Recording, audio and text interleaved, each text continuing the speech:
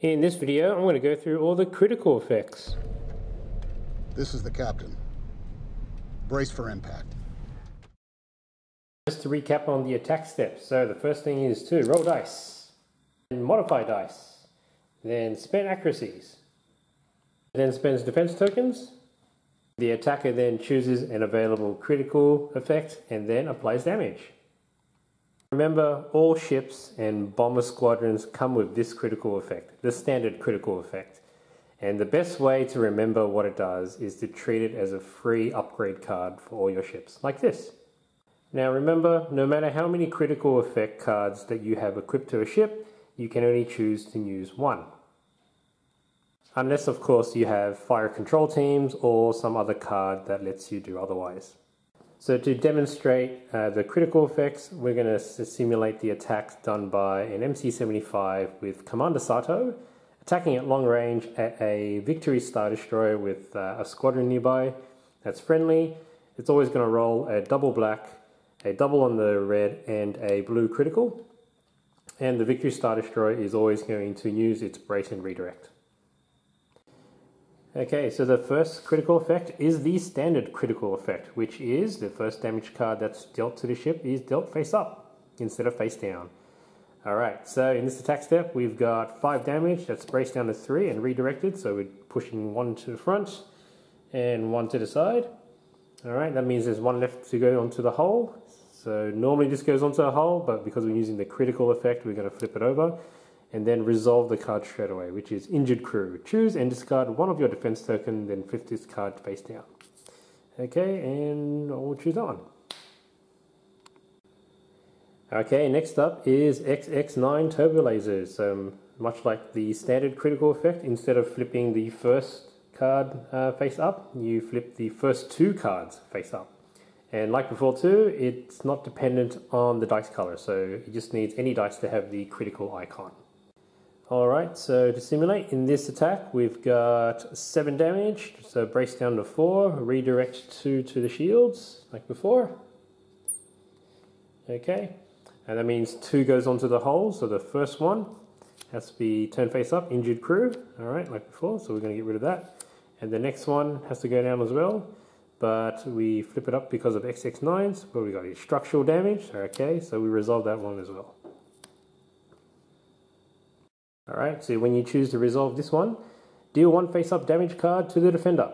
Okay, so they've done their defense tokens, you straight away deal one face-up and resolve it. So we've got a structural damage, okay, so we resolve that. Now we apply the damage, so it's two, and then one goes to the hull, face down.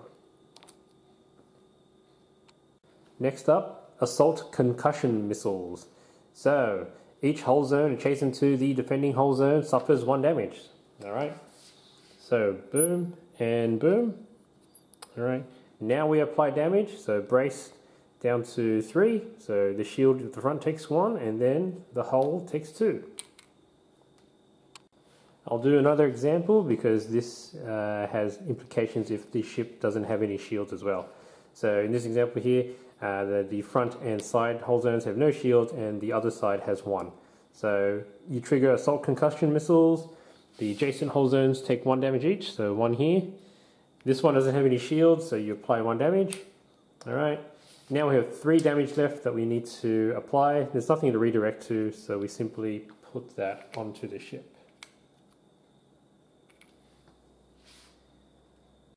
Alright, next is Wide Area Barrage, one of the new ones for Wave 7.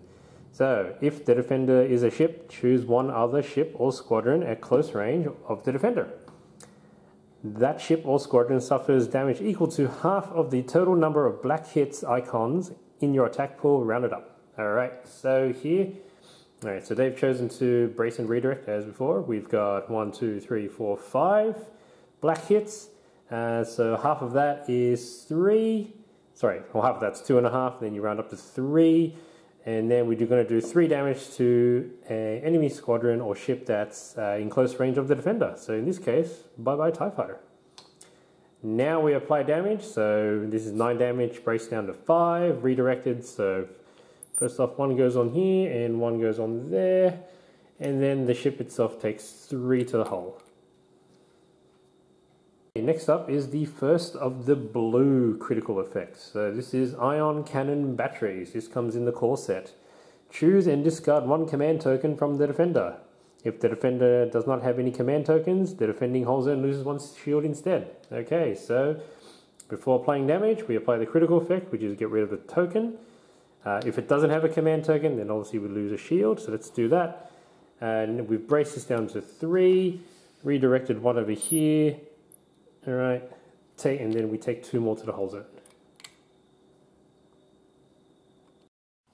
All right, next up is Overload Pulse. Exhaust all of the defender's defense tokens. Now, these have already exhausted, so they don't exhaust again. We exhaust the last one, like that.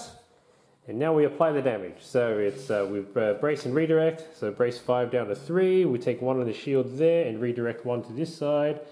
And one face down on the hull zone. And uh, for those out there who are a bit new and wondering, no, this doesn't work with Avenger in the same shot because uh, you've selected the critical effect before you apply the damage. And the defender has already exhausted the defense tokens as well. However, if you're Avenger and you shoot afterwards, then it will totally apply. Alright, next up, NK7 Ion Cannons. You may exhaust this card to force the defender to choose and discard one of his defense tokens. Alright, so we choose this critical effect. They're forced to uh, discard one of these defense tokens. They'll probably discard the redirect. Alright, now we apply damage as before. So one to the one to the front and one to the side because we brace redirect. One left goes onto the hull. Okay, the next one is Dodonna's Pride, which is actually not an ion cannon upgrade, it's actually a title upgrade for the CR90, but it's still a blue critical effect. So, it's uh, cancel all attack dice and deal one face-up damage card to the defender. Okay, so it's an interesting one, this one, because uh, we'll say this CR90B is attacking here. It's rolled three criticals. All right. Now, the defender, being the VSD, has to decide uh, what defense token it's going to use.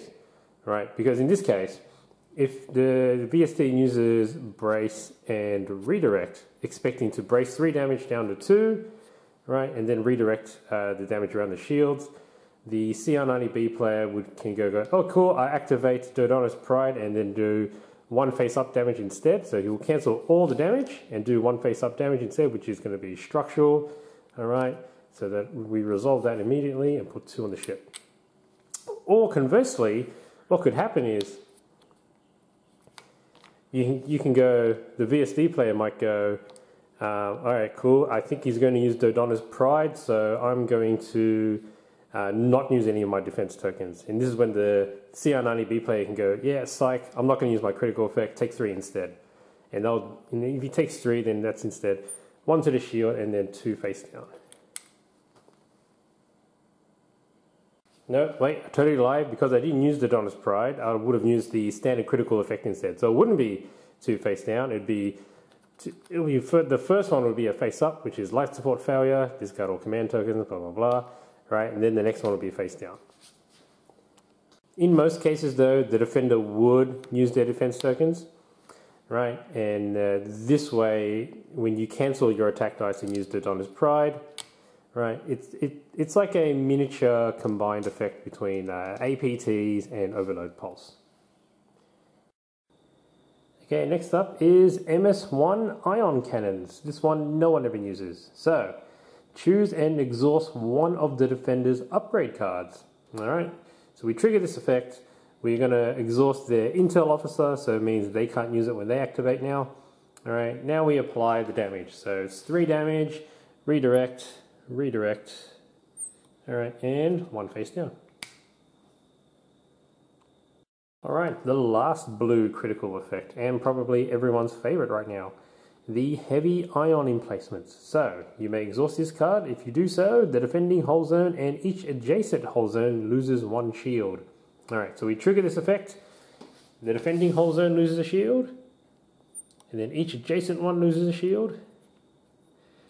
Alright, now we have three damage we need to apply. We did use redirect, but there's no shields to redirect to now. So we simply take three to the hull.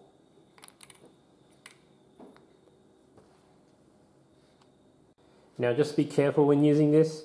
This only works if the defender has shields. So in the example we have here now where the ship has no shields, you probably don't want to use this critical effect and you might want to use any other critical effect you may have equipped, such as the standard critical effect or something else.